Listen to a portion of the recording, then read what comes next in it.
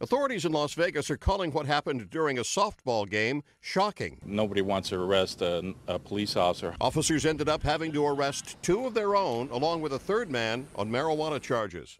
The arrested officers are from Hawaii and were in town for an athletic competition.